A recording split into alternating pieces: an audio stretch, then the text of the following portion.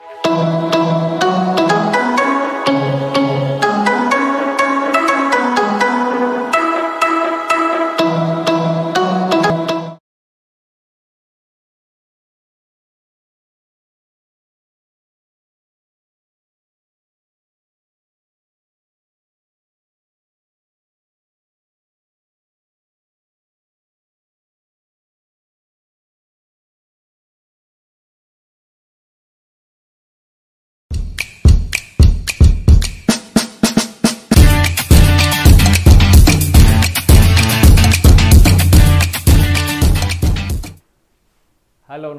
दोस्तों, एक बार फिर से स्वागत है आप सभी का आपके अपने e learning platform study with civil buddy पर। मैं हूँ अमित सिंह भदौरिया। तहे दिल से आप सभी का स्वागत करता हूँ आज के हमारी इस क्लास में। राजस्थान जीके की जो हमारी क्लास होती है शाम को छः बजे, उसमें हमारा टॉपिक चल रहा है राजस्थान के प्रमुख जो वंश हुए थे, उन सभी के बारे में हम स्टडी कर रहे हैं। राजपूत वंश वगैरह जितने हुए थे, राजपूत का उदय कैसे हुआ, जो भी राजवंश थे, उन राजवंशों में हमने चौहानों के बारे में पढ़ा था अब तक। तो उन चौहानों के बारे में ही पढ़ रहे हैं और चौहानों के बारे में पढ़ते पढ़ते रणथम्बोर से अब आप पहुँचे हैं हम कहाँ पर? जालौर। तो आज जो हम पढ़ने वाले हैं, वो पढ़ने वाले हैं जालौर के चौहान। जालौर के चौहान, आज का हमारा ये जो है, वो टॉपिक रहेगा। आज हम महान प्रतापी राजा कानड़देव के बारे में बात करने वाले हैं कि कानड़देव जो है, वो उनका जो समय काल था, उस समय काल में किस तरह से उन्हें अपनी जो वीरता थी, वीरता का परचम जो है, वो किस तरह से लहराया था, ये सभी जो बातें, ये सभी बात हम करने वाले हैं। तो क्यों ना फिर स्टार्ट किया जाए जालोर के चौहान और कमेंट करके मुझे बता दीजिए कि आवाज़ वगैरह बिल्कुल सही। गुड इवनिंग गुड इवनिंग सभी को मेरा नमस्कार। सब कुछ ठीक है? बोलिए।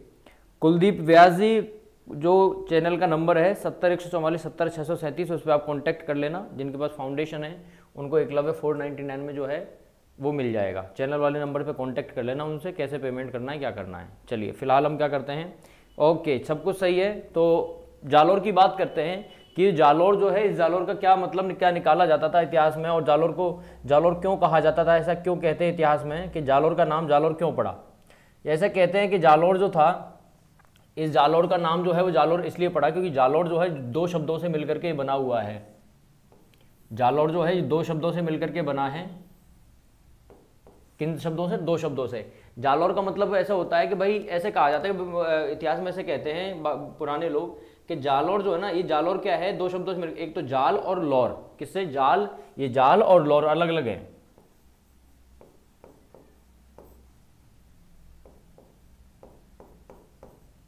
एक तो होता है जाल और एक होता है लौर। तो जाल, लौर दोनों मिलकर के क्या बन गए? जालौर बन गए। अभी जाल क्या है? जाल एक पेड़ का नाम है और लौर का मतलब होता है सीमा। तो अगर कोई पूछे कि जाल का मतलब क्या होता है तो जाल और एक पेड़ होता है। क्या होता है? एक पेड़ होता है। क्या है? एक पेड़ होता है और लौर का मतलब क्या होता है? इसका मतलब होता है सीमा। ये कहा जाता है कि जालौर जो था, ये जालौर क्या है? वहाँ पर क्या है? लौर के पेड़ थे। तो जिस क्षेत्र में जिस क्षेत्र में या जिस क्षेत्र की सीमा में जालौर जो जाल के पेड़ थे, उनसे जो सीमा बनी हुई थी, वो वाला जो क्षेत्र था, उसको जालौर कहने लग गए। क्या कहने लग गए? जालौर तो अगर एग्ज़ाम में कभी पूछ ले कि जाल क्या है, जाल का अर्थ क्या है, लौर का अर्थ क्या है है ना? जालौर के संदर्भ में अगर कोई पूछ ले तो ध्यान रखना जालौर जो है, इस जालौर का मतलब क्या है कि जाल के पेड़ पाए जाते थे, जाल के पेड़ पाए जाते थे चारों तरफ़ उसके आसपास एरिया में, इस वजह से उस क्षेत्र को क्या कहा गया? इसको जालौर कहा गया। अब हम जालौर के इतिहास की बात कर रहे हैं जो सीमा थी ये जालौर कहलाती थी जाल के पेड़ों के आसपास की। तो यहाँ पर क्या है? लगभग दसवीं शताब्दी में। कब? लगभग दसवीं दस, दसवीं शताब्दी के आसपास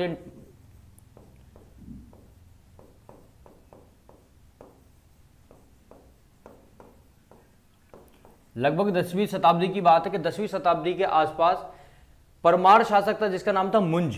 क्या नाम था? परमार शासक मुंज।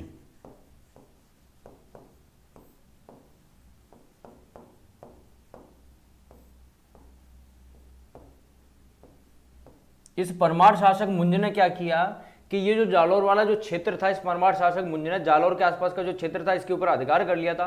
कालांतर में बाद में क्या होता है, कुछ समय के बाद में परमार शासक जो है वीर नारायण होता है, एक होता है कुंतपाल। कुंतपाल और वीर नारायण जो है, यहाँ पर शासन कर रहे होते हैं।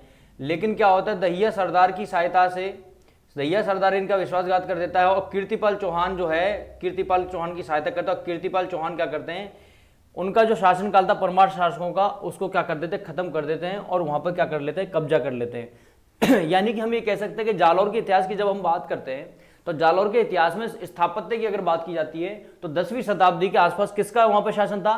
परमार शासकों का शासन था। किसका? परमार शासकों का शासन था। ये परमार शासकों से चौहानों पर कैसे शिफ्ट हुआ? अगर हम इसकी बात करते हैं तो ये कहा जाता है कि वहाँ पे क्या है? लोकल जो जाति पाई जाती, दहिया वगैरह जो पाई जाते हैं उन्होंने क्या किया था? इनसे विश्वासघात करके कीर्तिपाल चौहान के साथ में जाकर के मिल गए और कीर्तिपाल चौहान ने क्या कर लिया? इनको हरा दिया और इनसे यहाँ का साम्राज्य या यहाँ का जो ज़मीन वगैरह थी, यहाँ का जो आधिपत्य था, वो क्या कर लेते हैं? वो छीन लेते हैं और आपके ये पूरा का पूरा शिफ्ट हो जाता है कहाँ? कीर्तिपाल चौहान की तरफ़। यानी कि हम ये कह सकते हैं कि चौहानों में चौहानों में ऐसे कौन से राजा थे जिन्होंने जालौर जो है, उस जालौर को स्थापत्य किया या जालौर की स्थापना की या जालौर में चौहानों का जो स्थापत्य था, वो स्थापत्य हासिल किया या कौन संस्थापक था, कौन नहीं था, मूल पुरुष कौन था, है ना? आदि पुरुष कौन था? जालौर के चौहानों का। तो वो कौन था? कीर्तिपाल था। तो ये ध्यान रखना। इसके अलावा कि इतनी सारी चीज़ों की अगर हम डिस्कशन करते हैं तो हमें ये कैसे पता चलता है कि ये जालौर के जो चौहान थे, इन जालौर के चौहान के अगर हम इतिहास की बात करते हैं तो इस इतिहास की जानकारी कहाँ से मिलती है? अगर जो चीज़ मैं आपको बता रहा हूँ, इस इतिहास की जानकारी कहाँ से मिली? कहाँ मिलता है इतिहास? तो याद रखना, ये जो इतिहास है, इसकी इतिहास की जानकारी जो है दो तीन अलग अलग स्त्रोत हैं, उनसे हमें क्या मिलती है? जानकारी मिलती है। अगर उन स्त्रोत की अगर हम बात करते हैं तो उनमें पहला स्त्रोत तो आता है सबसे इंपॉर्टेंट जो कि एग्ज़ाम पॉइंट ऑफ़ व्यू से जो है बहुत ज़्यादा इंपॉर्टेंट है। उसका नाम है कानड़देव प्रबंध।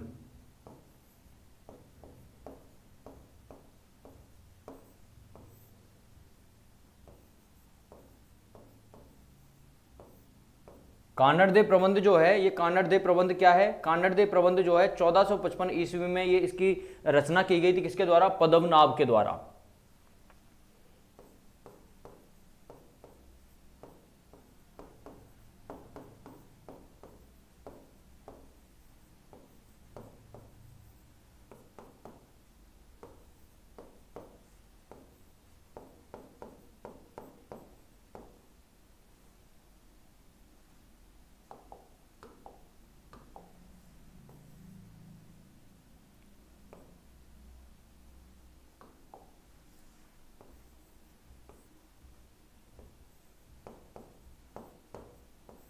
पद्मनाभ के द्वारा रचित था कानड़देव प्रबंध। इसके अलावा पदम नाम ने एक दूसरा और लिखा था रचना की थी, जिसका नाम क्या था? वीरमदेव सोनगरारी बात। क्या थी वीरमदेव सोनगरारी बात? तो वीरमदेव सोनगरारी बात की हम कर रहे हैं तो वीरमदेव कौन था? कौन नहीं था, ये भी मैं आपको बताऊँगा।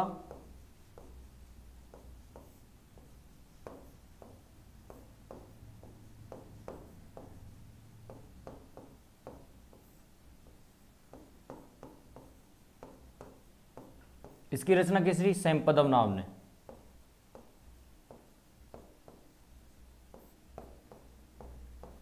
इसके अलावा क्या है? इसके अलावा एक दो जगह और भी है जहाँ से हमें इनके बारे में जानकारी मिलती है। और जो आपके पास में एक तो है शिलालेख, जिसका नाम है मकराना का शिलालेख, जो बारह का है।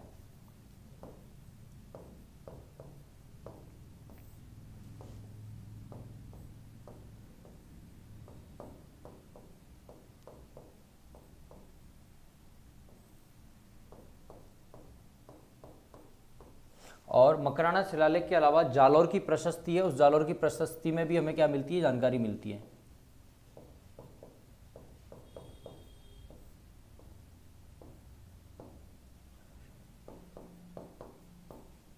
तो जालौर की प्रशस्ति, मकराना जो है, मकराना का शिलालेख, पद्मनाभ के दो रचनाएँ, इनसे हमें क्या हुआ है, जालौर के इतिहास की हमें जानकारी मिलती है, वही से हमें पता चलता है कि पहले के ज़माने में या उस समय पर क्या क्या घटनाएँ हुई थी और वो घटनाओं में क्या क्या हुआ, क्या नहीं हुआ, ये सारी की सारी जानकारी मिलती है।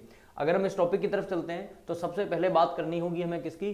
कीर्तिपाल चौहान की, कि जो कीर्तिपाल चौहान थे, ये कौन थे और कौन नहीं थे? देखो, कीर्तिपाल के चौहान की अगर हम बात करते हैं, कीर्तिपाल चौहान जो थे, ये जो है, ये कौन थे? तो इनमें सबसे पहला जो पॉइंट आता है, वो आपको ये लिखना होगा कि कीर्तिपाल जो है, ये इनके पिताजी का नाम क्या? कीर्तिपाल चौहान के जो पिताजी थे, वो कौन थे? तो इनके पिता कौन थे? पिताजी थे चौहान शासक। कौन थे? चौहान शासक अल्हण। अल्हण जो थे, इनके पिताजी पिताजी थे।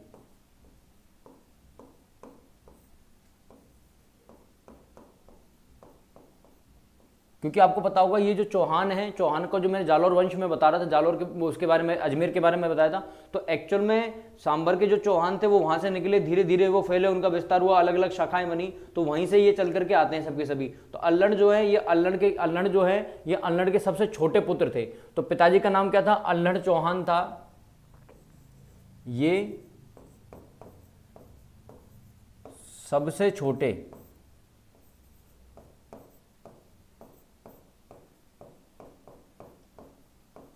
सबसे छोटे पुत्र हैं, ठीक है ना? ये कीर्तिपाल चौहान है, अल्लड़ देव के सबसे छोटे पुत्र ये हैं, ध्यान रखना। इसके अलावा चौहान वंश का जो संस्थापक है, जालौर शाखा के चौहान वंश का संस्थापक कौन है? यही है।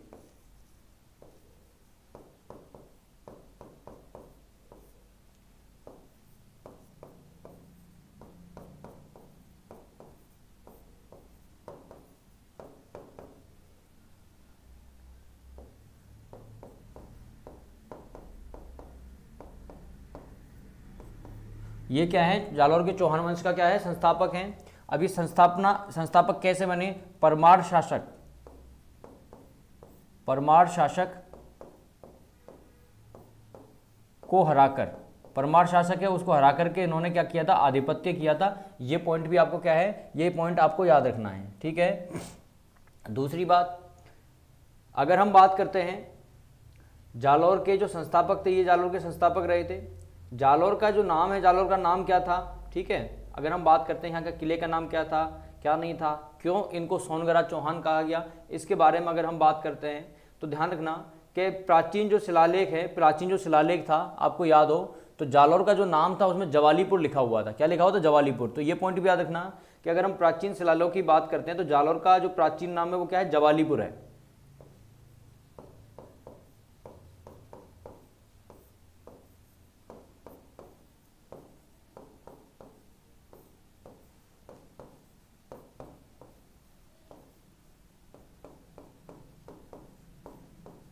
जालौर का प्राचीन नाम क्या है? ये जवालीपुर है और ये वेरी वेरी इंपॉर्टेंट है। एग्ज़ाम में क्या है? कई बार ये क्वेश्चन रिपीट हो जाता है। इसके अलावा, अगर हम बात करते हैं जालौर का जो किला बना हुआ है, उस किले का क्या नाम है? जो किला है, उस किले का क्या नाम है?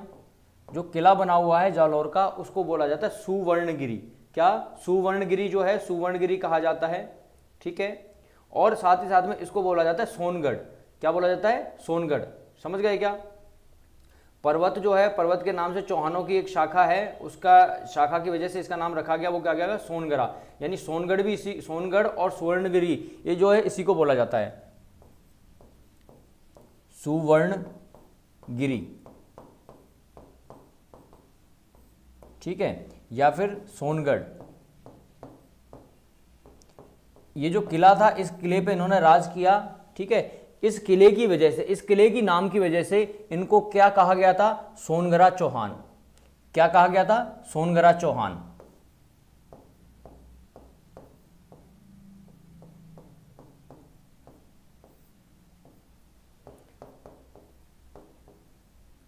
ये कौन थे? मित्रों, इनका नाम अगर कोई पूछे, कौन से चौहान थे? तो मित्रों, ये सोनगरा चौहान थे। कौन से चौहान थे? सोनगरा जो है, ये सोनगरा चौहान थे। ध्यान रखना बहुत इंपॉर्टेंट है ये एग्ज़ाम के पॉइंट ऑफ़ व्यू से। ये पूछ लेते हैं कि सोनगरा चौहान कौन थे, कौन नहीं थे इसके बारे में, ठीक है? अगर हम बात करते हैं कीर्तिपाल चौहान की तो कीर्तिपाल के बारे में आपको एक पॉइंट और पता होना चाहिए कि कीर्तिपाल जो है, अगर हम बात करते हैं मुहनोत नैनसिरी ख्यात की तो मुहनोत नैनसिरी ख्यात में एक बात जो है वो लिखी हुई है, जो इनके लिए बहुत इंपॉर्टेंट है कि कीर्तिपाल जो चौहान थे, इनके बारे में मुहनोत नैनसी ने क्या पॉइंट लिखा था? मुहनोत नैनसिरी ख्यात के अंदर इनको कितु एक महान राजा जो है ये कहकर पुकारा गया है और ये एग्ज़ाम में चार या पाँच बार ये क्वेश्चन आया हुआ है। सेम एक ही बात जो है, चार या पाँच बार पूछी गई है तो बहुत इंपॉर्टेंट है, इसको लिख लीजिए।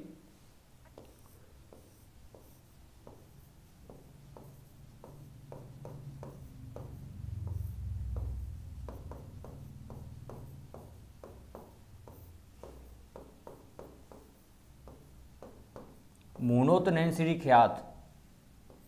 इस मूणोत नैनसिरी ख्यात के अंदर पृथ्वीराज चौहान जो है, जिनके बारे में हम बात की थी, पृथ्वीराज चौहान महान राजा हुए थे, उनके बारे में अलग अलग उपाधियाँ पढ़ी, राय पिथौरा के बारे में पढ़ा था, ठीक है ना, विश्व विजेता थे। वैसे ही क्या है, उसी हिसाब से मूणोत नैनसी ने भी कीर्तिपाल चौहान के लिए भी एक बात कही, वो ये कहा था, क्या क्या स्टेटमेंट दिया था? इन्होंने कहा था कि तू एक महान राजा। क्या है ना? कि तू एक महान कि तू मतलब कीर्तिपाल के लिए। कि तू एक महान राजा। ये लाइन इनके लिए लिखी हुई है। तो ये क्या है? ये कितु का मतलब क्या? कितु का मतलब है कीर्तिपाल। कितु मतलब कि कीर्तिपाल की बात कर रहे हैं। किसके बारे में बात कर रहे हैं? कीर्तिपाल के बारे में बात कर रहे हैं कि भाई कीर्तिपाल जो है, एक महान राजा था। किसके अनुसार? मुहणोत नैन्सी ख्यात के अनुसार, यानी मूणोत नैन्सी के अनुसार। भाई लिखी इन्होंने, है ना? तो ये नहीं कि ये इसी की, इन्हीं की बात कर रहे हैं। इस पॉइंट का भी ध्यान रखना। ये जो है सोनगरा जो चौहानों की मैंने बात की, सोनगरा चौहान मैंने आपको बताया इसके अलावा देखो, एक क्वेश्चन और पूछा जाता है, या आपने अगर पढ़ा हो, ध्यान हो तो ऐसे बोल देते देवड़ा चौहानों के बारे में। किसके बारे में? देवड़ा चौहान। तो ये देवड़ा चौहान कहाँ के थे? देवड़ा चौहान कहाँ के थे? देवड़ा चौहान बोलते ना देखो, एक ये तो सोनगरा चौहान, जालोर के अगर, जालोर के अंदर आपको कोई चौहान मिल रहा है तो वो सोनगरा चौहान होता है, या उसका नाम अगर सोनगरा है, कोई एक्स वाई जेड नाम है एक्स वाई जेड सोनगरा तो समझ जाना ये चौहान है। कौन सा चौहान है? जालोर वाले चौहान है ये। अगर किसी का नाम देवड़ा होता है ना? सरनेम किसी का देवड़ा होता है तो देवड़ा का मतलब क्या होता है? देवड़ा भी चौहान होते हैं। क्या होते हैं? देवड़ा जो है, ये देवड़ा भी चौहान होते हैं। लेकिन देवड़ा जो चौहान थे कहाँ के थे? देवड़ा जो चौहान है, ये कहाँ के थे? ये मैं आपके ऊपर छोड़ता हूँ लास्ट में अंत में जाते जाते मैं आपको बताऊँगा कि देवड़ा जो चौहान थे, ये देवड़ा चौहान कहाँ के थे, कहाँ के नहीं थे, इसके बारे में अंत में मैं आपको बताऊँगा, ठीक है? समझ गए?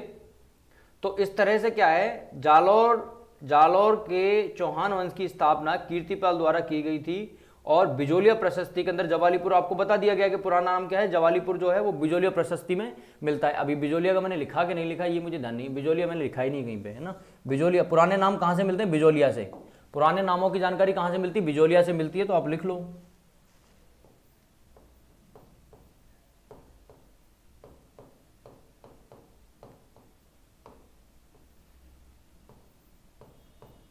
बिजोलिया के अनुसार। ठीक है? अगर कोई पूछ ले कि ये जो चौहान के बारे में हम बात करें ये चौहान क्या है? इन्होंने कब स्थापना की? तो स्थापना का काम जो है ग्यारह का माना जाता है ना? अतः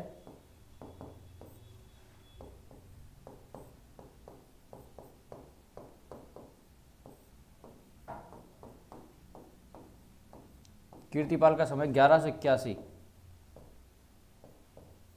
ईस्वी से।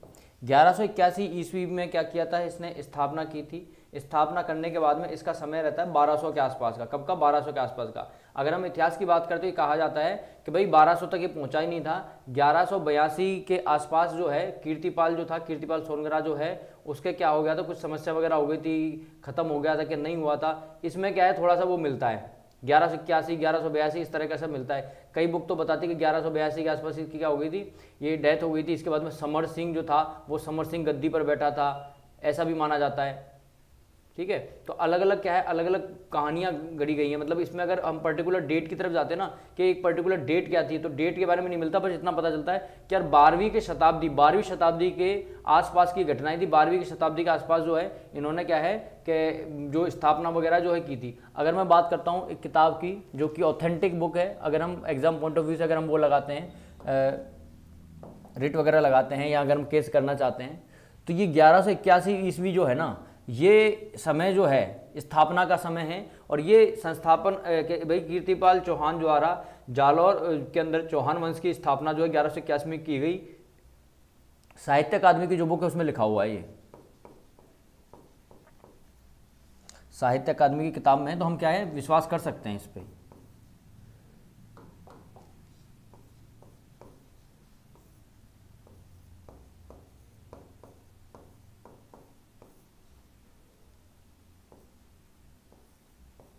साहित्य अकादमी किताब आती है ना, उसमें लिखा हुआ है, ग्यारह सौ इक्यासी तो हम क्या रेट वगैरह लगा सकते हैं कि ग्यारह सौ इक्यासी से इसने स्टार्ट किया था, और ये कहा जाता है कि 1205 के आसपास या साढ़े बारह या बारह सत्तावन के आसपास उदय सिंह आया था।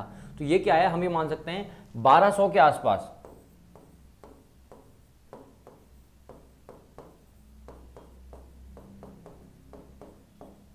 बारह सौ के आसपास तक ये क्या रहता है, ये रहता है। अब इसके अंत की जानकारी क्या है प्रॉपर वे में नहीं है। लेकिन ये वाला जो डेटा है, ये इंपॉर्टेंट है, ये ग्यारह में स्थापना करता है, ये हमें पता रहना चाहिए। क्योंकि माना ही जाता है, जब आप लोकल बुक में पढ़ोगे तो आपको ये मिलता है लोकल बुक में जब हम पढ़ते हैं ना तो वहाँ पर क्या होता है कि हम पढ़ते हैं किसके बारे में? कीर्तिपाल के बारे में। कीर्तिपाल के बारे में सीधा का सीधा हमें क्या, सामंत सिंह पर लेकर चला जाता है, वो सॉरी समर सिंह पर लेकर के चला जाता है। लेकिन हमें क्या है, बीच में जो उदय सिंह आया था, इसके बाद में उदय सिंह भी आया था कुछ सालों के लिए, उदय सिंह के बारे में जो है वो जानकारी नहीं मिलती है है ना? और समर सिंह जो था, उस समर सिंह के बारे में क्या है जानकारी मिल जाती है कई बार। और कई बुक्स में क्या होता है कि भाई एक्चुअल में रियल में क्या मिलता है? अगर ढंग की किताबों पढ़ोगे तो पहले समर सिंह आता है, समर सिंह के बाद में कौन आता है? उदय सिंह आता है। और कहा जाता है कि समर सिंह जो था ना, समर सिंह जो है कीर्तिपाल का पुत्र था, जिसने राज्यभिषेक किया था कहाँ? जालौर दुर्ग में। और इसकी, इसके बारे में अगर बात करते तो ये कहा जाता है, चालुक्य राजा था, भीमदेव द्वितीय जिसके बारे में हमने बात की थी। उसकी क्या होती है, उसकी पुत्री होती है। उसकी पुत्री से क्या होता है, विवाह वगैरह होता है, ऐसा भी कहा जाता है। जो, ये जो पूरी की पूरी कहानी है, अगर इस कहानी की बात करते हैं तो उससे ये समझ में आता है कि यार, फिर तो कीर्तिपाल की जो मृत्यु हो गई होगी, वो कीर्ति, कीर्तिपाल की मृत्यु क्या है, वो हो गई होगी 1200 से पहले ही। अगर हम समर सिंह को इंक्लूड करते हैं तो यहाँ पर क्या थोड़ा कॉन्फ्लिक्ट है जानकारी भी नहीं, वैसे एग्ज़ाम में इतना नहीं पूछते हैं, अभी तक तो कहीं नहीं पूछा गया, क्योंकि जो चीज़, जिस चीज़ की जानकारी पूर्ण नहीं है तो एग्ज़ाम में तो कहाँ पूछ लेंगे अगर पूछते हैं तो फिर डिलीट हो जाता है, क्योंकि अलग अलग किताबें अलग अलग कह देती हैं अपना अपना है ना, गान कर देती हैं। ठीक है? तो इसलिए ध्यान रखना, कीर्तिपाल जो है, कीर्तिपाल की स्थापना के बारे में अगर कोई पूछे कि स्थापना कब की थी तो ग्यारह में स्थापना की थी। एक अन्य किताब के अनुसार अगर मैं बताऊँ तो इनकी मृत्यु कब हुई थी, कह देते ग्यारह में इनकी मृत्यु हो गई थी। मतलब एक साल बाद ही मृत्यु हो गई तो इस बात पर क्या है, विश्वास कम होता है। इसलिए ये तो नहीं कह सकते इनकी मृत्यु कब हुई थी, लेकिन हाँ ये मान सकते हैं कि साहित्य अकादमी की किताब में ये लिखा हुआ है कि इनकी स्थापना कब हुई थी। स्थापना के बारे में पूछेगा तो ग्यारह जो है, हम कह सकते हैं, या बारहवीं शताब्दी के अंत में इन्होंने क्या किया था, चौहानों के सोनगरा चौहानों के बारे में बात करें या जालौर शाखा की बात करें, उसकी क्या की थी उन्होंने? स्थापना जो है, वो स्थापना की थी। तो ये पॉइंट जो है, आपको पता रहना चाहिए। इसके बाद में क्या है, कहते हैं कि भाई समर सिंह जो है, ये समर सिंह गद्दी पर बैठा था। समर सिंह कौन था? कीर्तिपाल चौहान का पुत्र था ये। कौन था? कीर्तिपाल चौहान का पुत्र।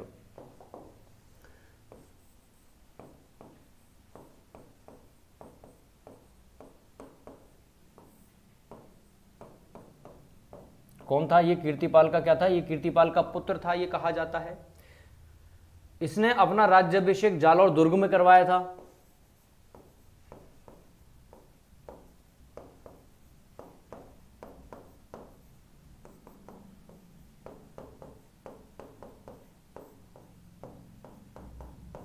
राज्यभिषेक इसने जालौर दुर्ग में करवाया था। इसके अलावा इसने क्या किया था? जालौर की सुरक्षा व्यवस्था के बारे में इसने बहुत सोचा और इसने क्या किया? जालौर के चारों ओर परकोटे का निर्माण करवाया, जो कि बहुत इंपॉर्टेंट है। एग्ज़ाम में क्वेश्चन पूछा गया हुआ, पूछा था ये वाला क्वेश्चन जालौर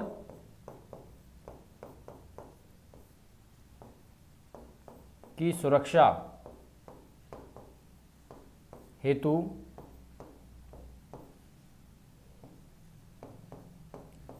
चारों ओर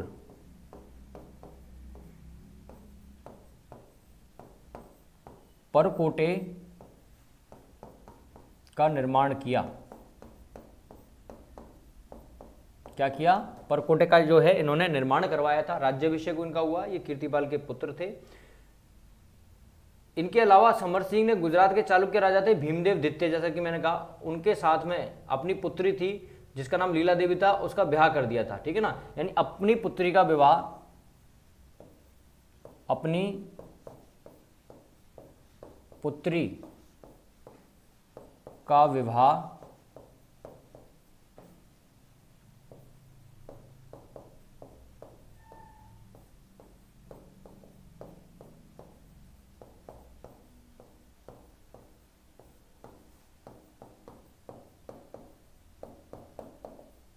भीमदेव के साथ किया। नाम पूछ ले कि पुत्री का नाम क्या था? पुत्री का नाम था क्या? लीलावती। क्या नाम था? लीलावती या लीला देवी जो है, पुत्री का नाम था। अगर पूछ ले कि भाई पुत्री का नाम क्या था?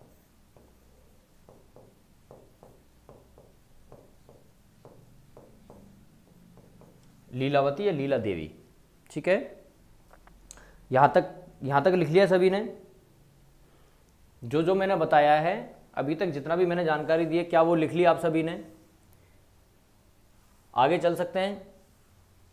पीछे जो है, अगर नहीं लिखा है पीछे वाला तो इसका भी अगर आप नहीं लिखा हो तो इसका स्क्रीनशॉट जो है वो आप ले लो फटाफट से। अगर ये नहीं लिखा है तो इसका स्क्रीनशॉट जो है वो स्क्रीनशॉट भी आप ले लो फटाफट से।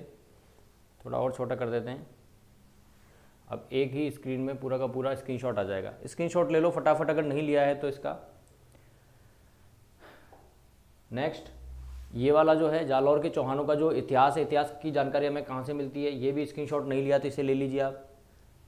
पीछे आ जाइए फ़र्स्ट पेज जिसमें हमने बात की थी जालौर के चौहानों के बारे में। तो जालौर जो है, जालौर को जालौर क्यों कहा गया, इसके बारे में इतिहास में क्या जानकारी है? जालौर में प्रारंभिक जो है, शासन किसका था? राजा मुंज जो था, वो मुंज कौन था?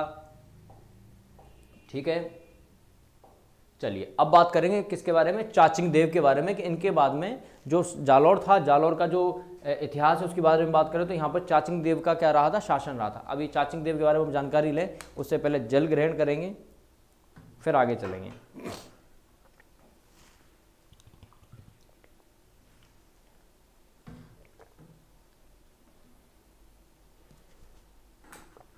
समझ में आ रहा है पूरा? समझ में तो आ रहा है ना प्रॉपर वे में? कोई अगर समस्या हो किसी प्रकार की तो बता देना। ठीक है?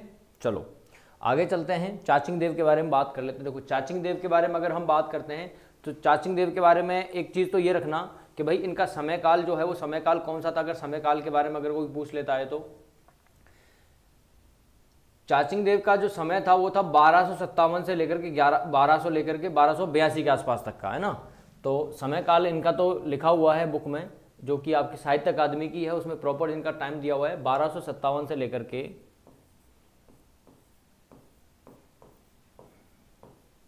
बारह ईस्वी जो है, इनका ये समय काल जो है वहाँ पे मेंशन है। इनके बारे में इम्पोर्टेंट बात दो तीन ही है, ज़्यादा नहीं है।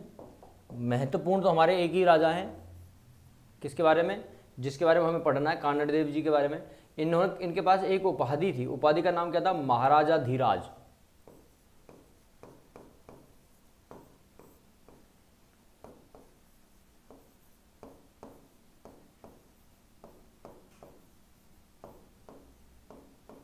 महाराजा धीराज की जो है, इनके पास में क्या थी? उपाधि थी। इनका जो समय काल था, जिस समय इन्होंने समय, जिनका मतलब जिस समय ये राजा बने थे, उस समय पर, उस समय पर और कौन था? तो बलवन के समकालीन थे। बलवन, इंडियन हिस्ट्री में बलवन शायद खत्म हो चुका है। ये बलवन के समकालीन थे।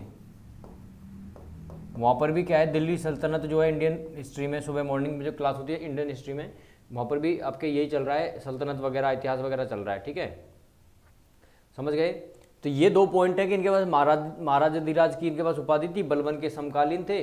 चाचिंग देव जो है चाचिंग देव पर इन्होंने आक्रमण इसलिए नहीं किया क्योंकि इनके साथ में क्या है, एक दो लोग थे, प्रभावी लोग जो इनका क्या दे रहे थे, साथ दे रहे थे। इसके अलावा इनके बाद में जो राजा होता है वो होता है सामंत सिंह। क्या नाम होता है? सामंत सिंह जो है, सामंत सिंह होता है। सामंत सिंह के बारे में देखो क्या है, ये आपको पता रहना चाहिए।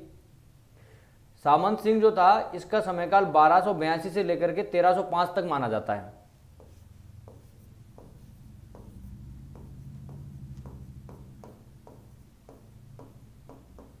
तेरह सौ पाँच ईस्वी तक ईस्वी तक इसका क्या है? समयकाल माना जाता है।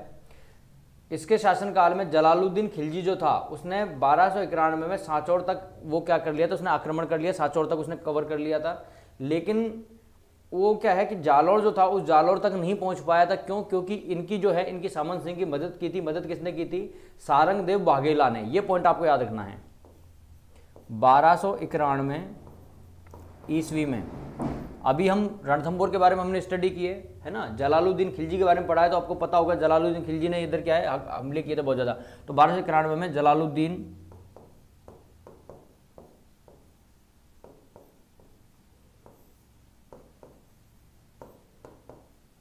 अब जालौर और सांचौर में फ़र्क ही क्या था? कुछ भी फ़र्क नहीं था। खिलजी ने, बारह सौ इक्यानवे जलालुर खिलजी ने सांचौर तक अधिकार कर लिया।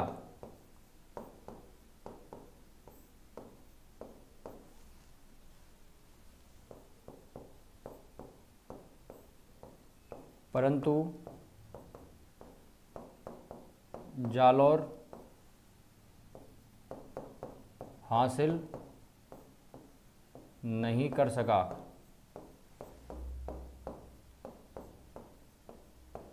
क्योंकि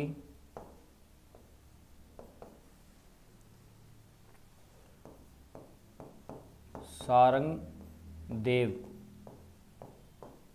बाघेला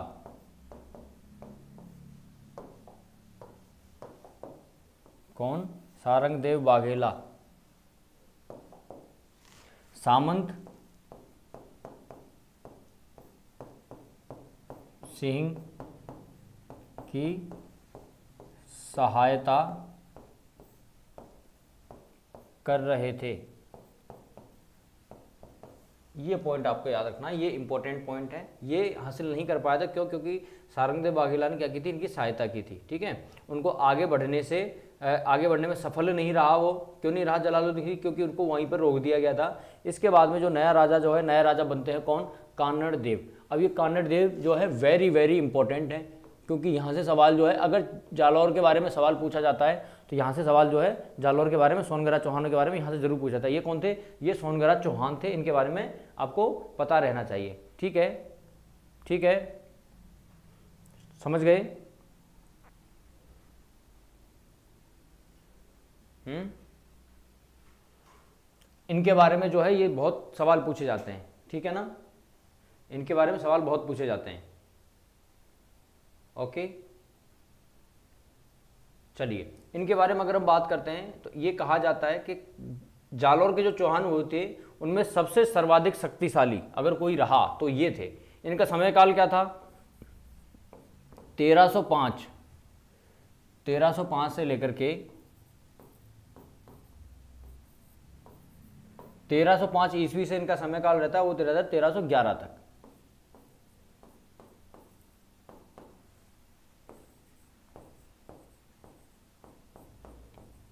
सर्वाधिक शक्तिशाली इनके इनके इनके पूरे जितने भी चौहान हुए थे, उनमें सब सर्वाधिक शक्तिशाली अगर कोई राजा हुआ था तो ये सर्वाधिक शक्तिशाली राजा था, ये कहा जाता है। दो थ्योरी है। एक थ्योरी तो ये कहती है कि भाई अलाउद्दीन खिलजी जो था, अलाउद्दीन खिलजी और कानड़ दे के बीच बीच में जो युद्ध हुआ था, उसका बहुत बड़ा कारण ये था कि जालौर के आक्रमण के लिए जब उनकी सेना वगैरह जा रही थी या जब भी आना जाना होता था तो बीच में क्या है, ये जालौर वाले जो थे ना, ये परेशान हो जाते थे कि हमारे रास्ते में से क्यों आते हैं, जब भी आते जाते हैं तो उजाड़ देते हैं, खेत उखाड़ खेतों में जो भी सामान है उसको उखाड़ के ले जाते हैं लूट पाट कर लेते हैं, है ना? कोई मिल जाए रास्ते में तो थप्पड़ मार के भग जाते हैं तो बड़ा परेशान करते हैं। तो ये क्या है कि रास्ते में ये निकलते तो इनको रोक दिया जाता था कि भाई यहाँ से मतलब मन करना है, जो मन करे वो करो, लेकिन यहाँ से मत निकलो तुम।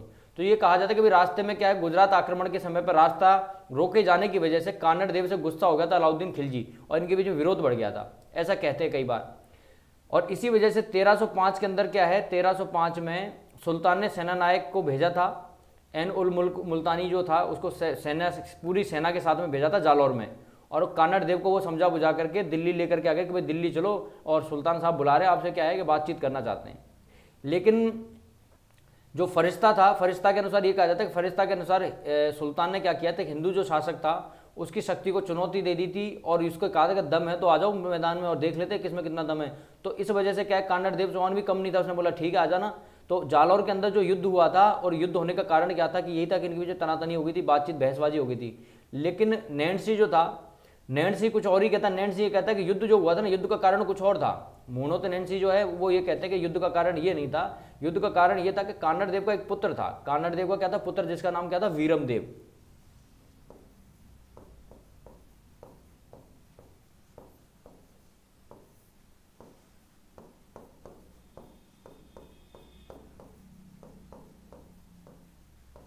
कानड़ देव का एक पुत्र था जिसका नाम क्या था? वीरम देव था।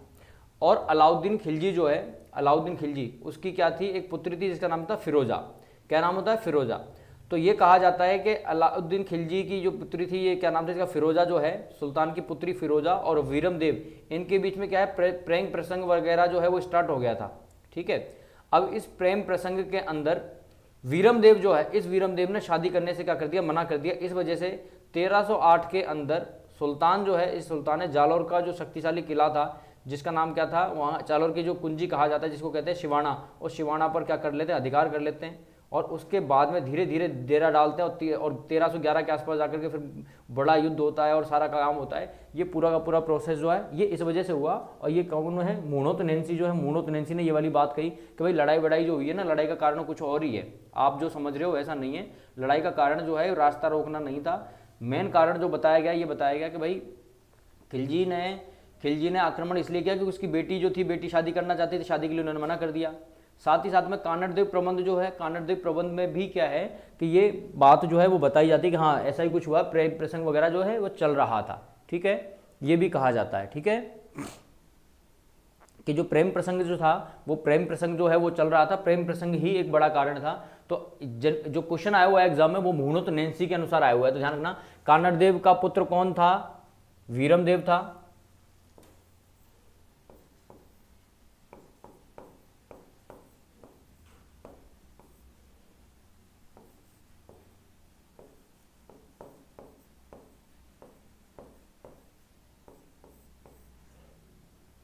फिरोजा और वीरमदेव। इनके बीच में क्या है कि इनके बीच में प्रेम प्रसंग चल रहा था और इसने मना कर दिया।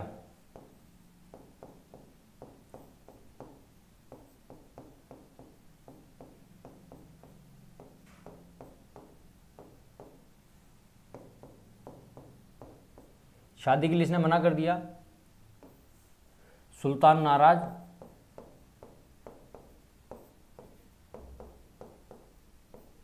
सुल्तान इस बात से क्या हो गए? नाराज़ हो गए। ये जानकारी कहाँ से मिलती है? नैंड सिंह ने दी है जानकारी।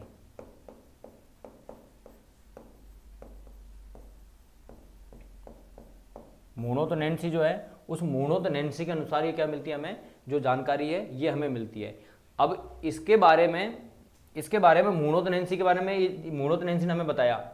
जबकि आप बुक्स पढ़ोगे ना लोकल ऑथर्स की दूसरी कोई किताबें पढ़ोगे तो यहाँ पर क्या होता है नैन्सी की जगह पदम नाम आ जाता है। ये जो मैं नैन्सी बता रहा हूँ, ये मैं बता रहा हूँ आपको साहित्य अकादमी की बुक के हिसाब से। देखो, मेरा जो, वो चल रहा है ना, जो भी मैं पढ़ाऊँगा, अगर मुझे कॉन्फ्लिक्ट मिलेगा तो मैं आपको कॉन्फ्लिक्ट जो है, वो मैं बताऊँगा साहित्य अकादमी के हिसाब से। साहित्य अकादमी को मैं प्रेफरेंस जो है फ़र्स्ट दूँगा। क्यों दूँगा? क्योंकि साहित्य अकादमी वाली जो किताबें होती हैं, उनका जो स्टैंडर्ड के बारे में बात कर रहे हैं या उनके बारे में बात कर रहे हैं कि प्राथमिकता जो दी जाती है तो बोर्ड के द्वारा भी प्रथम दी जाती है, इसलिए। ठीक है?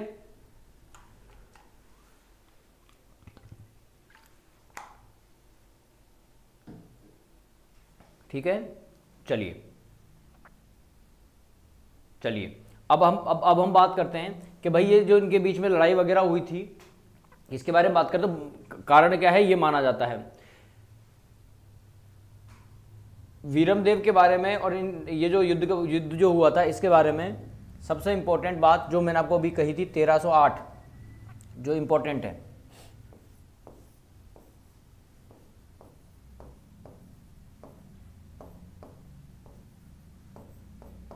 तेरह सौ आठ ईस्वी में अलाउद्दीन खिलजी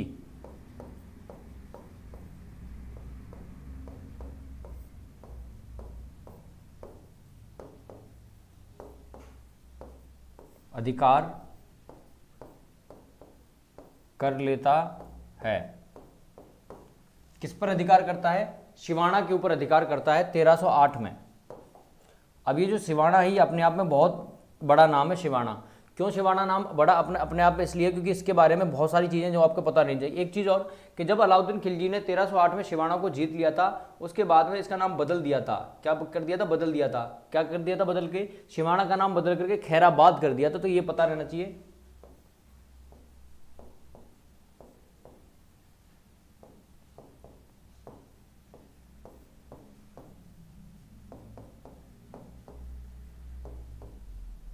नाम बदल करके क्या कर दिया? खैराबाद। तो इसका नाम बदल दिया जाता है, इसका नाम बदल करके क्या कर दिया जाता है? खैराबाद कर दिया जाता है। और कमालुद्दीन गुर्ग जो था, उस कमालुद्दीन गुर्ग को क्या कर दिया जाता है? यहाँ का प्रतिनिधि नियुक्त कर देते कि भाई खैराबाद जो है, इसका नाम भाई साहब खैराबाद होगा और कमालुद्दीन गुर्ग जो है, यहाँ को संभालेगा। कौन? कमालुद्दीन गुर्ग।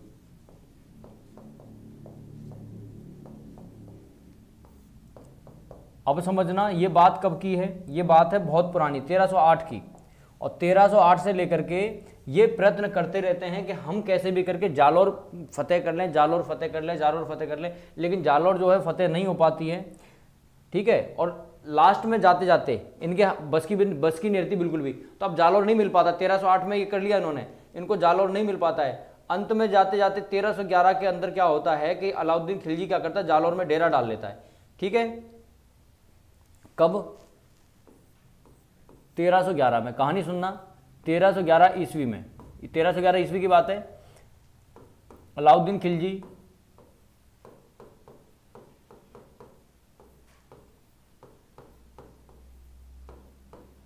जालौर को घेर लेता है।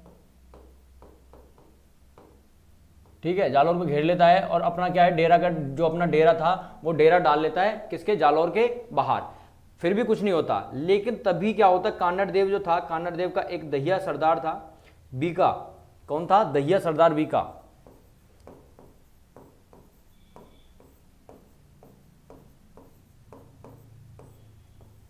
ये दहिया सरदार जो होता है, जिसका नाम होता है बीका, ये दहिया सरदार बीका क्या कर देता है? विश्वासघात कर देता है। और ये क्या करता है? जाकर के उधर अलाउद्दीन खिलजी से जाकर के मिल जाता है। और ये क्या कर देता है किले की सारी की सारी जानकारी दे देता है, गुप्त दरवाजे बता देता है, और ये सारी जानकारी जैसे ही पता चल जाती है तो वो क्या करती है, सेना की सेना जो है गुप्त किले में घुसना स्टार्ट हो जाती है। उसी समय कानड़देव जो चौहान था, ये क्या करता है, ये लड़ाई करता है, युद्ध होता है, और युद्ध जो है, युद्ध में ये वीरगति को जो है प्राप्त हो जाते हैं इसी वजह से। और महिलाएँ जो हैं, वो महिलाएँ क्या करती हैं, जौहर करती हैं। महिलाएँ क्या करती हैं, जो भी महिलाएँ थी, वो महिलाएँ क्या करती हैं, जौहर करती हैं, और नाम याद रखना कि विश्वासघात जो है, विश्वासघात किसने किया था?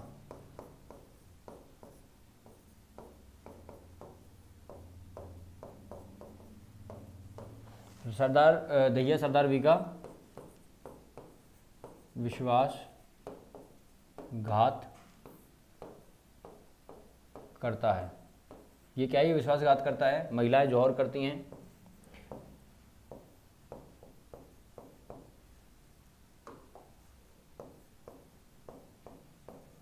कान्नड़ देव वीर गति को प्राप्त होते हैं।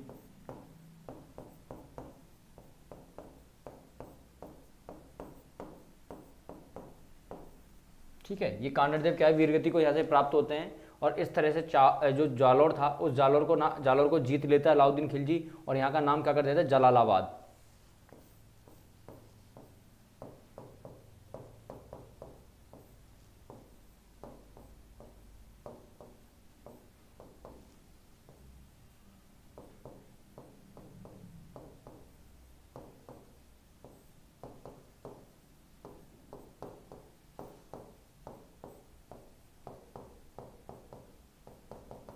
जालौर जो था, इस जालौर का नाम क्या कर दिया जाता है? जलालाबाद जो है, जलालाबाद कर दिया जाता है। यहाँ पर क्या है? ये कहा जाता है कि बाद में क्या है? अखेर राज के शासनकाल के अंदर क्या हुआ था? कान्नड़ देव जो था कान्नड़ देव की जो पूरी की पूरी कहानी थी, इसके बारे में किसने लिखा था? पद्मनाभ जो था, इस पद्मनाभ ने फिर रचना की थी। ये बाद की बात है ना? तो ये एक तो नाम याद रखना कि जलालाबाद जो है, जलालाबाद नाम किस चीज़ का है? कौन इसको नाम रखता है? अलाउद्दीन खिलजी। कौन रख रहा है? अलाउद्दीन खिलजी। अलाउद्दीन खिलजी एक के द्वारा।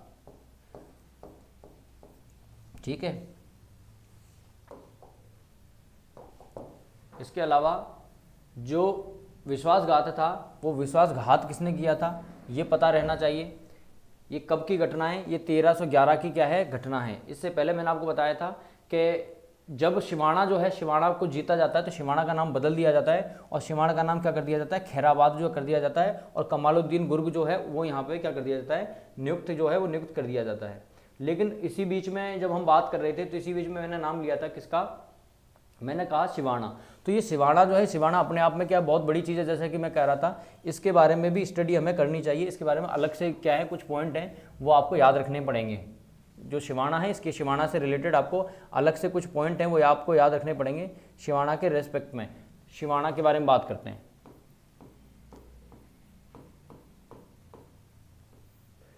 शिवाणा की अगर बात करते हैं हम, शिवाणा।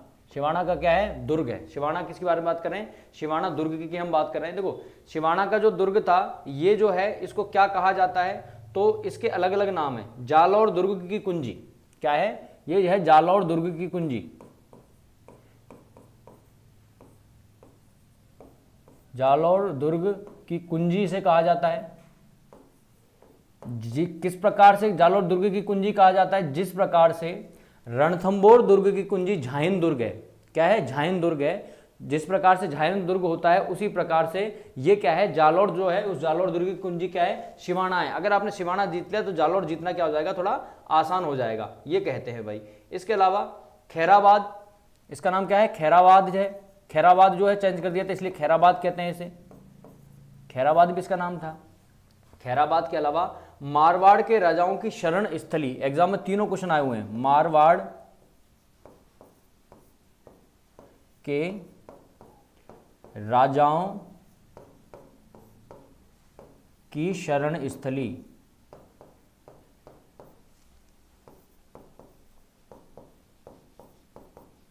ये जो है तीनों के तीनों शिवाणा के क्या है? शिवाणा के नाम है। ये जो है, ये कब इसका निर्माण हुआ? तो लगभग दसवीं शताब्दी में इसका निर्माण करवाया था छप्पन की पहाड़ियों पर। किस पर? छप्पन की पहाड़ियों पर।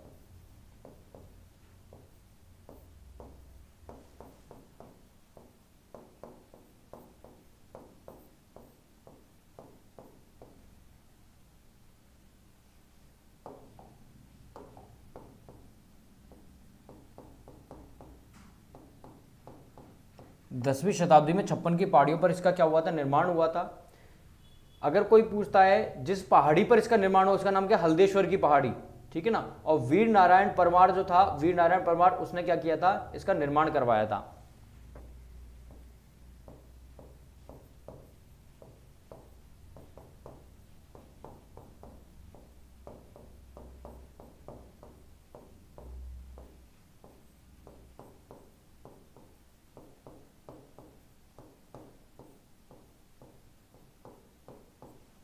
ठीक है? ये कुछ इंपॉर्टेंट पॉइंट है जिनके बारे में आपको क्या है? जानकारी हमेशा रहनी चाहिए, क्योंकि एग्ज़ाम पॉइंट ऑफ़ व्यू से क्या है? ये इंपॉर्टेंट है।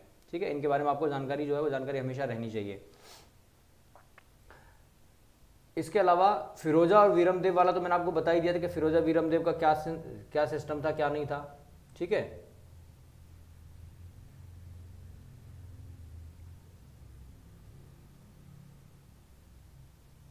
ठीक है?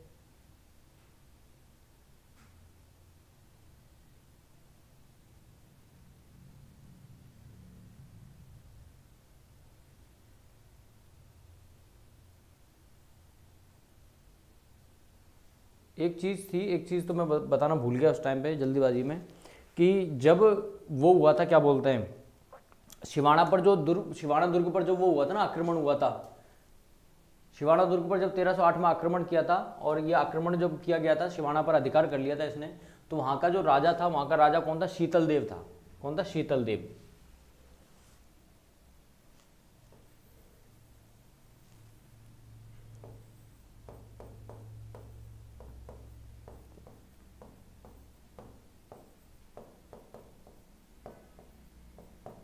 शीतलदेव चौहान जो है, वहाँ का कौन होता है? राजा होता है। चौहान, शीतलदेव चौहान वहाँ का राजा होता है। ये पॉइंट है कि ध्यान रखना, ठीक है? अब बोलिए, कोई कुछ कहना चाहता है तो क्या कहना चाहता है बताओ।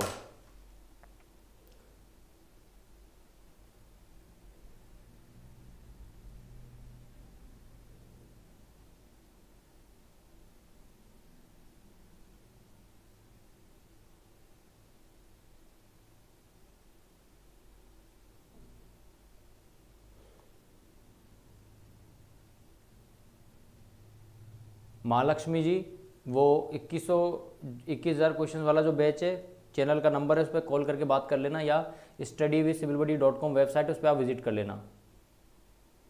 ठीक है? हाँ शीतल देव जो है, वो मारा जाता है, वीरगति को प्राप्त होता है। जीके का जो सिलेबस है, कोशिश तो यही है कि करवा देंगे।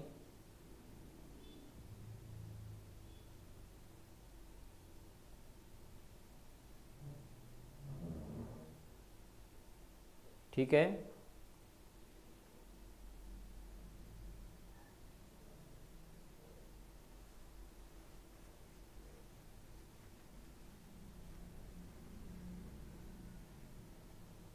अब देखो, अगर जीके को आप पढ़ते हो, अब आप आप सोचिए कि जो चौहान थे, इन चौहानों का इतना बड़ा इतिहास है जालोर के चौहानों का, और हम एक घंटे में पढ़ रहे हैं। क्या कर रहे हैं? एक घंटे में पूरा जालोर का चौहान का सब कुछ हमने मट्टी पलीत कर दी। मट्टी पलीती कर दी और तो क्या इतना बड़ा इतिहास रहा, इतने बड़े प्रतापी राजा थे और हमने उनको चार लाइनों में क्या कर दिया, उनको बाँध दिया, ठीक है?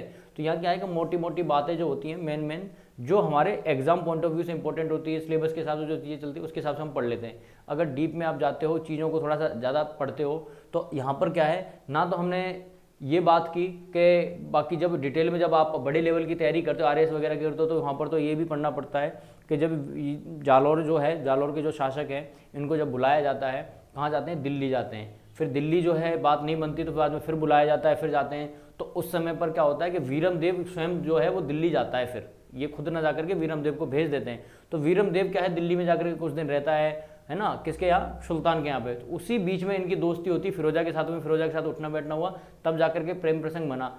अब मैंने पूरी कहानी में वीरम देखो, फिरोजा से मिलवाया नहीं, प्रेम प्रसंग हो कैसे बिना मिले कैसे हो सकता है? पहले तो व्हाट्सअप चलता नहीं था, देखो भाइयों। पहले तो क्या व्हाट्सअप की सुविधा नहीं थी। पहले क्या है कि जियो नहीं था, चक्कर ये व्हाट्सअप तो था लेकिन जियो नहीं था पहले। समझ गए? तो हम क्या है, हम उतना ही पढ़ रहे हैं जितना हमारे लिए क्या है, काम का है। ठीक है? अब योगेंद्र सिंह जी पूछ रहे हैं अलाउद्दीन खिलजी और कानड़ देव के बीच में पहला युद्ध जो है वो कब हुआ था? इसकी जानकारी तो स्वयं R S M S S B board को नहीं, अब हमें कहाँ से होगी? किताबों में क्या है अलग अलग ईयर अलग अलग डेट वगैरह जो है दी हुई है। ये पता ही नहीं कब है, इसलिए गलत बताने से अच्छा क्या ना बताया जाए। है ना? गलत जो है ना बताया जाए, वो ज़्यादा बढ़िया है।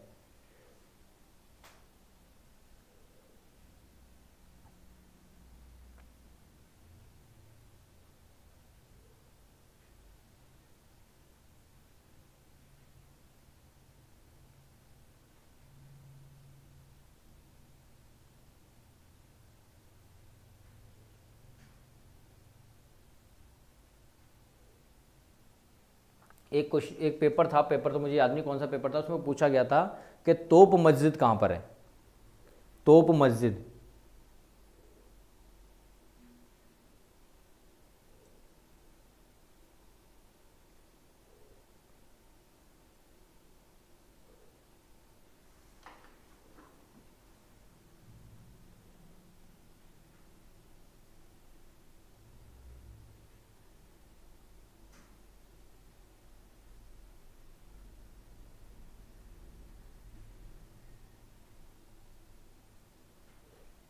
महालक्ष्मी जी मैंने नंबर सेंड कर दिया है, सत्तर एक सौ चौवालीस, सत्तर छः सौ सैंतीस, इस नंबर पर कॉल कर लेना।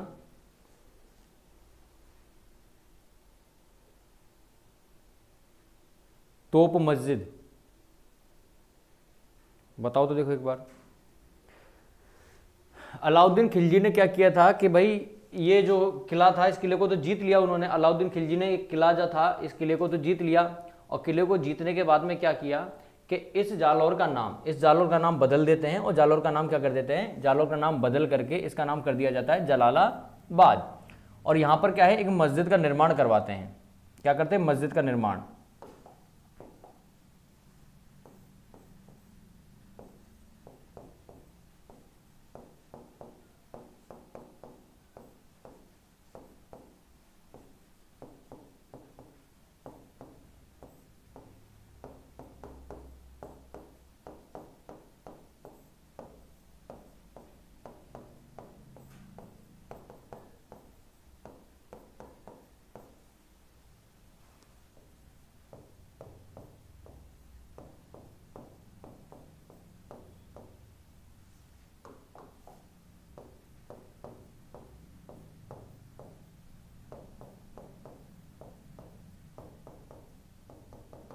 एक मस्जिद जो है, मस्जिद का निर्माण करवाते हैं। अभी जो मस्जिद है, इस मस्जिद के क्या है? इसके नाम के अगर हम बारे में बात करें कि मस्जिद का जो नाम है, वो नाम क्या है? तो मस्जिद के दो नामों से इस मस्जिद को जाना जाता है। एक तो अलाउद्दीन खिलजी की मस्जिद तो है ही, और एक तोप मस्जिद।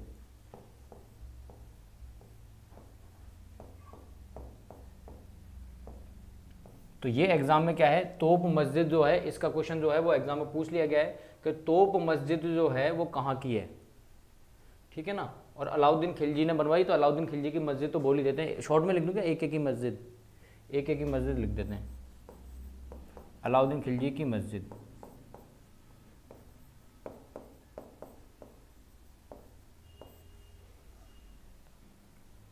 अब यार वो एक क्वेश्चन और था यार। वो मैंने पूछा है कि नहीं पूछा? मैं टेलीग्राम पर डालने वाला था। पूछ ही लेता हूँ मैं। मैं एक स्टेटमेंट देता हूँ, बताना वो कौन सा, दोनों एग्ज़ाम में आए हुए हैं। अब मैं जो पूछने वाला हूँ ना वो दोनों एग्ज़ाम में आए हुए हैं तो बताना देखो। हम्म, मैं स्टेटमेंट लिख रहा हूँ आप बताना सही है गलत है।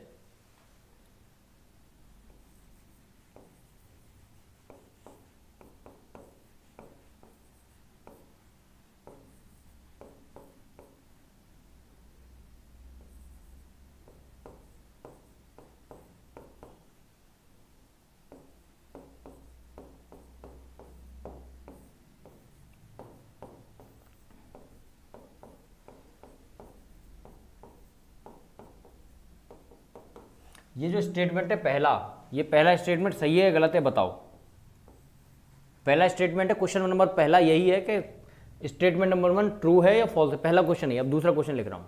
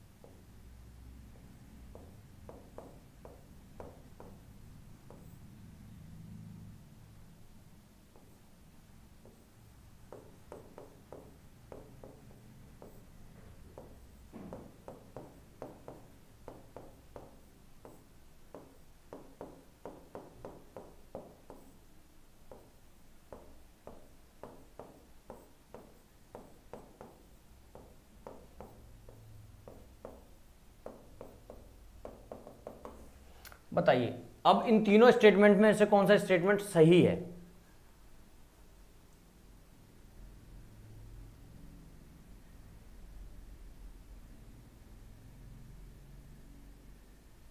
बताओ। एक और लिख दूँ?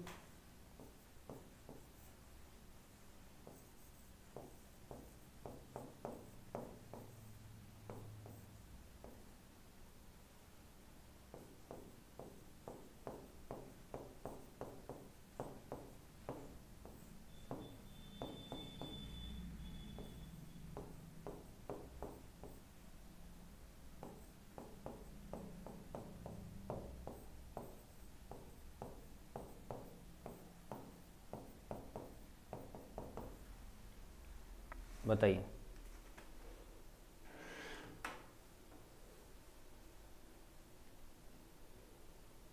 बताओ आराम से सोच के बताओ।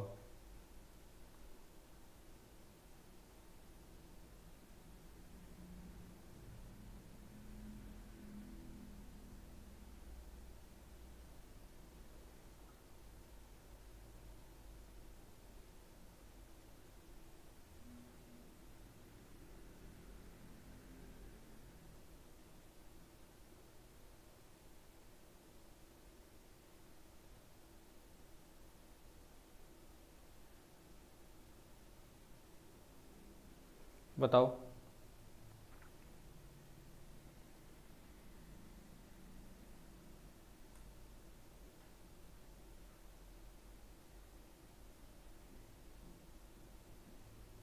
आराम से सोच लो।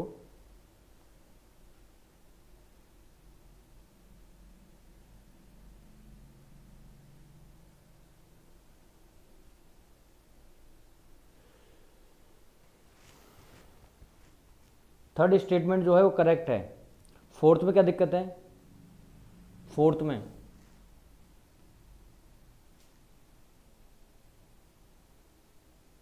टेक्निकल पाराशर ने बहुत बढ़िया स्टेटमेंट दिया। टेक्निकल पाराशर ने बहुत बढ़िया बात कही है। बहुत बढ़िया।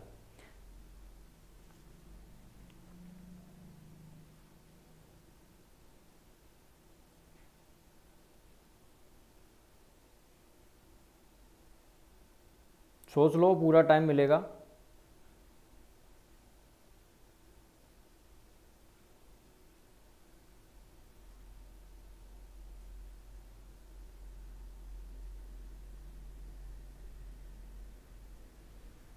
देखो,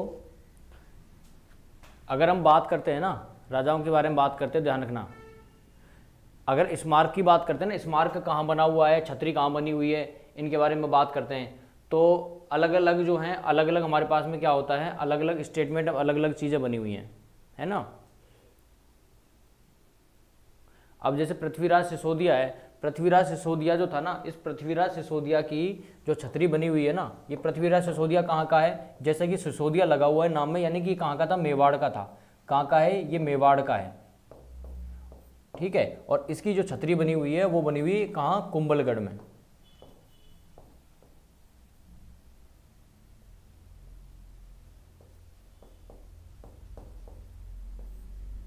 कुंभलगढ़ के अंदर है और बारह खंभों की है। बारह खंबे ना, बारह खंबे बारह खंभों की छतरी बनी हुई है कहाँ पर? कुंभलगढ़ के अंदर, ठीक है? पृथ्वीराज जो थे, पृथ्वीराज के बारे में अगर हम बात करें पृथ्वीराज चौहान की तो पृथ्वीराज चौहान जो है, इन पृथ्वीराज चौहान के बारे में बात करते हैं। इनके अंदर काबुल में क्या बना हुआ था? बताइए। काबुल में क्या बनाया था? पृथ्वीराज चौहान का स्मारक कहाँ बनाया हुआ था? स्मारक। काबुल के अंदर क्या बना था? काबुल के अंदर।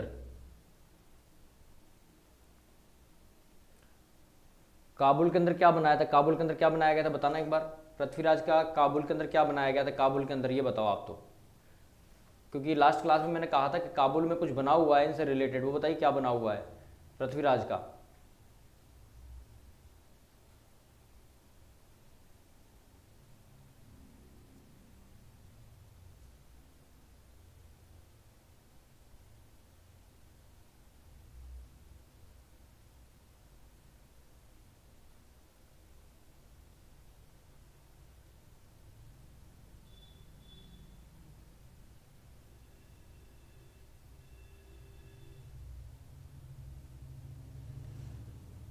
तो थर्ड स्टेटमेंट जितने भी बता रहे थर्ड स्टेटमेंट बिल्कुल सही। काबुल में क्या छतरी बनी हुई स्मार्क बना हुआ है अपने यहाँ तो है ना? तो जो स्टेटमेंट थर्ड बता रहे थे, बिल्कुल सही है। थर्ड स्टेटमेंट जितने बता रहे थे ना, ये ये करेक्ट है, बिल्कुल करेक्ट है। तो नोट करने वाली बात क्या है कि स्मार्क जो है, ये स्मार्क बना हुआ है तारागढ़ के अंदर, अजमेर के अंदर। लेकिन अगर हम बात करते हैं छतरी की, किसकी? छतरी की। ये कंफ्यूजन है। तो छतरी जो है, ये बनी हुई है काबुल के अंदर। छतरी का बनी हुई है? काबुल के अंदर। पृथ्वीराज जो है, इनकी छतरी कहाँ पर बनी है तारागढ़ में बनी हुई। तो ये छतरी तो मैं मना करूँ छतरी तो बनी हुई नहीं है। अब पृथ्वीराज का स्मारक तारागढ़ अजमेर में बना हुआ है और यहाँ लिखा हुआ पृथ्वीराज चौहान। तो यहाँ क्या है? स्पेसिफाई कर दिया चौहान। अब पृथ्वीराज तो हो सकता है सिसोदिया भी हो, है ना? सिसोदिया भी हो सकता था। इसलिए थर्ड स्टेप में ज़्यादा सही है। ठीक है? समझ गए? अगर हम छतरियों के बारे में बात करते हैं तो छतरियों से रिलेटेड काफ़ी और भी छोटे मोटे क्वेश्चन बन जाते हैं। जैसे कि अगर मैं छतरियों के फ़ेमस क्वेश्चन की बात करूँ, मैं इसको हटा रहा हूँ। किसी को अगर कुछ लिखना हो तो फटाफट लिख लो, मैं इसको हटा रहा हूँ यहाँ से, ठीक है? जो एक्स्ट्रा पॉइंट उसको मैं बता रहा हूँ कि छतरी और स्मार्क में थोड़ा सा कन्फ्यूज़न है, किसी ने मेरे से पूछा था तो मैंने कहा, क्यों ना सभी के साथ ये साझा किया जाए? इसके बाद बहुत फ़ेमस क्वेश्चन है, वो क्वेश्चन पूछा जाता है एग्ज़ाम में। वो है चौरासी खंभों की छतरी।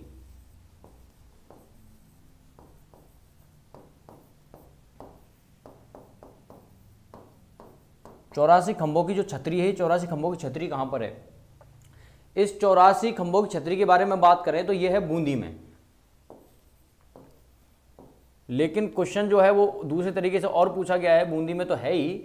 इसको मूसी रानी की छतरी बोलते हैं।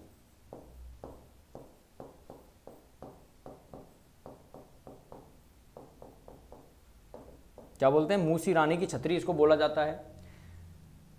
इसके अलावा एक वो है अस्सी खंभों की छतरी। क्या है अस्सी खंभों की छतरी? क्या है अस्सी खंभों की छतरी है? ये अस्सी खंभों की छतरी कहाँ पर है? ये दो मंजिला है, ठीक है ना? और ये है आपके अलवर में। कहाँ पर है? अलवर में है। ये अस्सी खंभों की अलवर में है, चौरासी खंभों की जो है वो आपके कहाँ पर है? बूंदी में है, ठीक है? इसमें क्या होता है कि मूसी महारानी की छतरी कहाँ पर ऐसे बोल देते हैं। शारबाग की छतरियाँ कहाँ पर है? शारबाग। शारबाग। तो शारबाग की छतरी अगर कोई पूछ लेगा तो शारबाग की जो छतरियाँ हैं, ये कहाँ पर मौजूद हैं, ऐसे पूछ लेगा, है ना? शारबाग के बारे में पूछेगा तो शारबाग के बारे में बताना पड़ेगा, या फिर ऐसे पूछ लेता है कि क्या बोलते हैं इसको? एक क्वेश्चन और था उसमें वो पूछा गया था, उसके क्या बोलते हैं? महाराणा सांगा की। कि सांगा की छतरी कहाँ है? सांगा के बारे में तो पढ़ेंगे तब पता चलेगा फिर भी रा, राणा सांगा की छतरी कहाँ है? तो राणा सांगा जो था इसकी छतरी बनाई जाती है कहाँ? भीलवाड़ा मांदलगढ़ भीलवाड़ा में। कहाँ पर है? मांदलगढ़ जो भीलवाड़ा है वहाँ पर जो है इसकी क्या है? छतरी बनी हुई है तो इसके बारे में ध्यान रखना। ठीक है ना? ठीक है? याद रहेगा?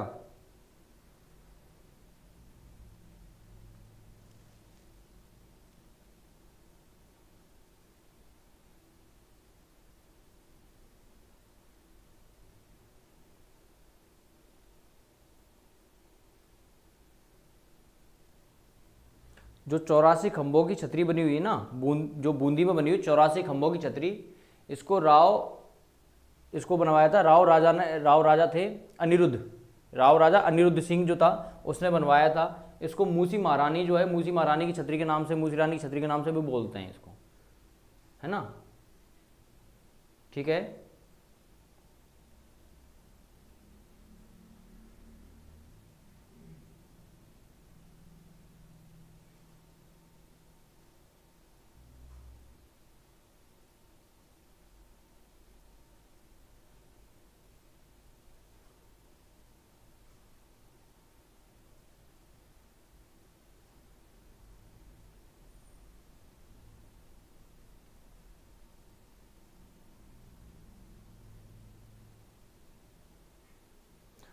जो 80 खंभों की छतरी है ना, उसको भी क्या है, उसका विनय सिंह ने निर्माण करवाया था, उसको भी मूसी महारानी की कह देते, ये तो समस्या है कि मूसी रानी की छतरी और मूसी महारानी की छतरी यहाँ पर कन्फ्यूज़न क्रिएट कर देता है। तो जब ये पूछता है कि मूसी महारानी की छतरी कहाँ है तो अलवर आंसर हम दे देते हैं बाई डिफ़ॉल्ट जो है ना, विनय सिंह ने जिसका निर्माण करवाया था।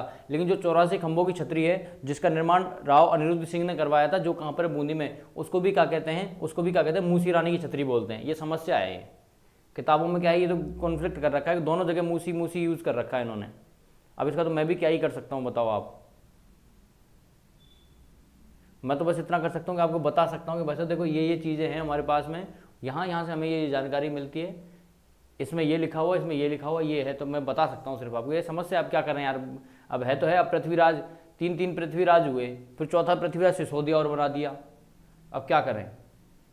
तो अब सिर्फ़ पृथ्वीराज बोलेगा तो पृथ्वीराज आपके दिमाग में कैसे क्लिक होगा कि पृथ्वीराज कौन सा वाला पृथ्वीराज है वैसा भी फिर आगे का आसपास का देखना पड़ता है फिर देखना पड़ता है ऑप्शन क्या अच्छा ये ऑप्शन है, ये अच्छा ये वाला पृथ्वीराज होगा वैसा भी है ऐसे अब क्या करें? ठीक है? चलिए तो आज की जो क्लास है, आज की क्लास को समाप्त करते हैं यहीं पर। और बाकी जो छतरियाँ हैं, इन छतरियों का वीडियो जो है अलग से है। ठीक है? है ना? देखो, अंशुल ने सही लिखा है कि मूसी महारानी की छतरी बोलता है, तब तो अलवर आ जाता है, जिसका निर्माण विनय सिंह ने करवाया था। और मूसी रानी की छतरी बोलेगा तो बूंदी आ जाता है। मूसी रानी, बूंदी और मूसी महारानी आ जाए तो आएगा, छतरी कौन सी आ जाएगी? अलवर वाली, जिसका विनय सिंह ने करवाया, जबकि बूंदी में जो थी, उसका नाम अनुरुद्ध सिंह ने करवाया था। बस ऐसे ही हल्का फुल्का ऊपर नीचे कर देते हैं और बेवकूफ़ बना देते हैं अपन को। चलिए बहुत बहुत धन्यवाद। क्लास यहीं ऑफ़ करते हैं। और जो है, आपके ये जो क्लास है, इस क्लास के बाद हाँ एक चीज़ तो मैं बताना भूल गया, एक चीज़ मैंने पूछी थी क्लास के स्टार्टिंग में, मैं बता देता हूँ, मैंने पूछा था, देवड़ा जो थे, देवड़ा चौहान के बारे में मैंने पूछा था कि यार देवड़ा चौहान कहाँ के हैं, कहाँ के नहीं है, मैंने पूछ रहा था कि फिर किसी ने क्या है कमेंट भी कर दिया था, किसी ने कमेंट करके बोला था कि सिरोही के हैं, है ना? तो ध्यान रखना, ये पॉइंट मैं बताना भूल गया। आगे लिख देता हूँ, यहीं लिख देते हैं। ध्यान रखना, जो क्या बोलते जालौर जो थी ना, जालौर में चौहान थे है ना? जालौर में चौहान थे और जालौर के जो चौहान थे, जालौर के चौहानों से ही फिर एक और शाखा निकलती है, जालौर की देवड़ा शाखा। क्या है? वो है सिरोही के चौहान। कौन से हैं? सिरोही के चौहान। तो ये जो सिरोही के चौहान थे, इन्हीं चौहानों के बारे में मैं बताना चाह रहा था कि जो सिरोही के चौहान थे, ये कौन थे? ये चौहान वंशीय जो लुम्बा था, उस लुम्बा ने क्या किया था, इस शाखा का क्या किया था, स्थापना की थी। यानी अगर कोई पूछे कि सिरोही के चौहानों का आदि पुरुष, इनका आदि पुरुष कौन है? इनका आदि पुरुष पूछ ले, मूल पुरुष पूछ ले, ये मैं ऑलरेडी बता चुका हूँ, आपको फ़र्स्ट क्लास में पता हो तो। जब मैं चौहानों के बारे में बता रहा था, आदि पुरुष, मूल पुरुष कौन था इनका? कौन था? लुम्बा जो है, ये लुम्बा इनका क्या था? आदि पुरुष कह सकते हो, या मूल पुरुष जो है वो कह सकते हो, लुम्बा था इनका, और यही जो है, यही देवड़ा चौहान थे। कौन थे? देवड़ा। यही देवड़ा चौहान थे, जो कहाँ से निकल करके आए हैं? जालौर से। ये जालौर से निकल करके आए थे ना? जालौर जो है, जालौर से ही सही शाखा बनी थी। जालौर की शाखा है, ठीक है ना? देवड़ा चौहान जो बने थे, ये बने थे, ध्यान रखना, ठीक है? तो ये पॉइंट आपको क्या है? ये याद रहे। क्योंकि एग्ज़ाम में क्या है, ये क्वेश्चन पूछा गया था कि जालौर जो है, इस जालौर से कौन सी शाखा बनी थी? देवड़ा शाखा बनी थी। और ये जो चौहान थे, यही चौहान जो है, सिरोही के चौहान कहलाते हैं, यही देवड़ा चौहान कहलाते हैं, ठीक है? चलिए बहुत बहुत धन्यवाद थैंक यू सो मच जय हिंद, जय भारत, जय जवान, जय किसान।